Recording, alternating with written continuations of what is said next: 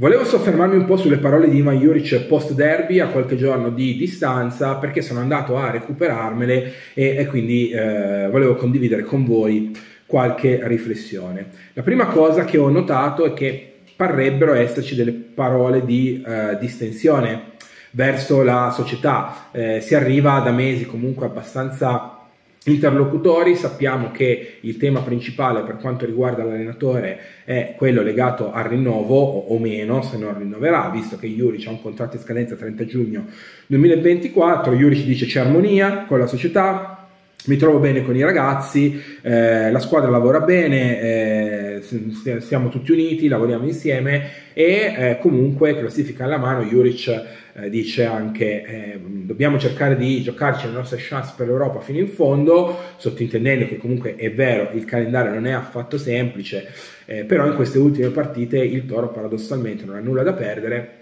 e quindi, sottintende Juric, il tema contratto è eh, rinviabile perché ci dobbiamo focalizzare sul campo. Ecco, in realtà su questo io non sono d'accordo perché, si, a parte che le due cose possono collimare in contemporanea, ma poi cioè, il Toro con o senza Juric deve già sapere in anticipo che cosa fare la prossima stagione, perché se l'allenatore andasse via va pianificato innanzitutto la nomina di un nuovo allenatore, secondo poi bisogna capire che cosa porterà il mercato che non è detto che chi arriverà dopo Juric adotterà gli stessi principi tattici di gioco dello stesso eh, mister.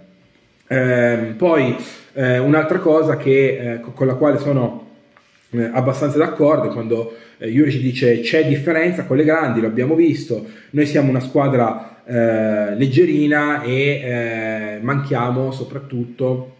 in certe zone di campo. Poi dice: Mi aspettavo di più eh, dal punto di vista dei gol dagli esterni e dai centrocampisti, vero, e in tal senso uscirà un video in cui metto a confronto qualche numero tra i nostri esterni, i nostri centrocampisti e quelli delle altre squadre. Eh, e, eh, però ecco, mh, sarò uno dei pochi a pensarlo. Mi sembra che da questo punto di vista Juric non abbia chiuso a priori al rinnovo e bisogna capire a questo punto cosa vuole fare la società con i ruoli che sostanzialmente si sono invertiti perché eh, per tutta questa, questa stagione è stata la società anche a mezzo stampa a far capire che comunque avrebbe avuto piacere a continuare con il mister. Però il mister ogni 3x2 ha sempre messo dentro frasi abbastanza sibilline del tipo se, se non andiamo in Europa cosa resto a fare?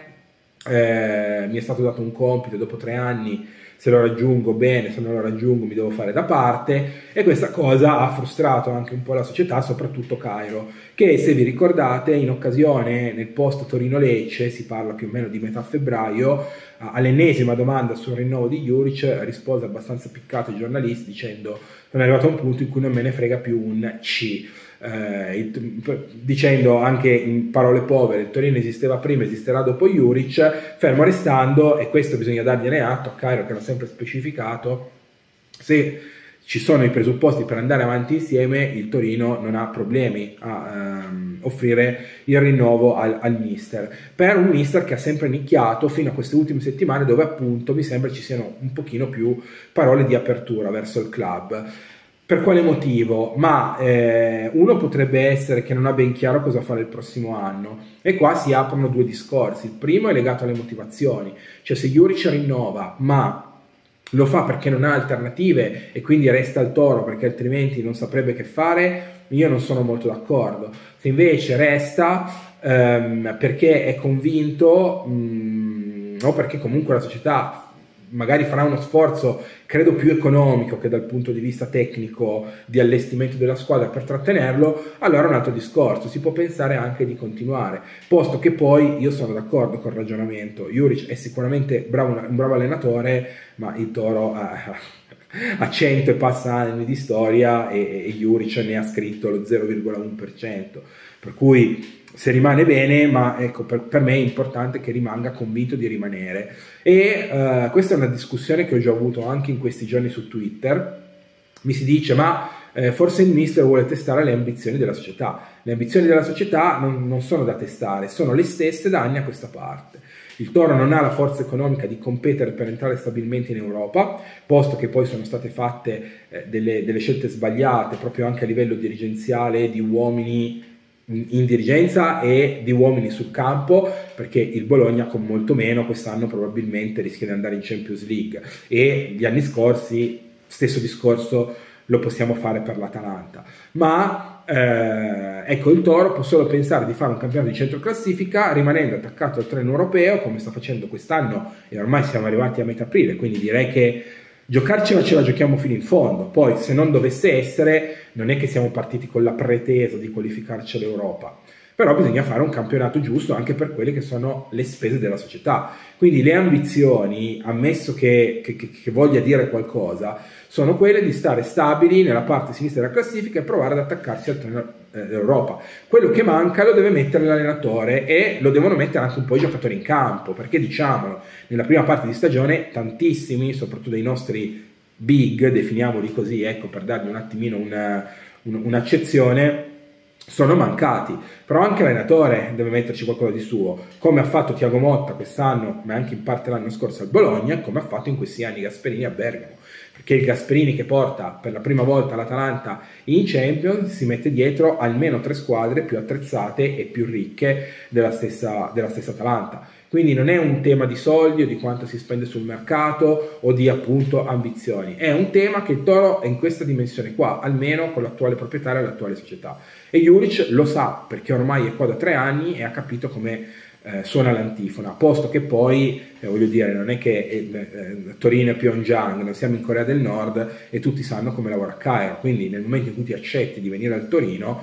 prendi oneri e onori e tra gli onori c'è anche uno stipendio molto alto che... Ehm, che comunque Juric, eh, se dovesse rinnovare, al, almeno andrà a prendere gli stessi soldi, per cui di questo non può certo lamentarsi. Eh, e quindi parlare di aspettative non ha senso, le aspettative sono quelle di fare una squadra competitiva per cercare di rimanere più o meno lì davanti, attorno al settimo, ottavo, nono posto e magari approfittare della stagione sorta di qualche squadra. E quest'anno siamo stati veramente eh, siamo stati eh, spreconi perché come vedete davanti a noi non ci sono squadre che corrono, Napoli, Lazio, Fiorentina, è vero che c'è stato l'exploit del Bologna, però appunto Napoli, Lazio e Fiorentina erano squadre con cui con 7-8 punti in più che potevamo tranquillamente fare, eravamo lì lì a giocarcela, anche perché in alcuni sconti diretti abbiamo dimostrato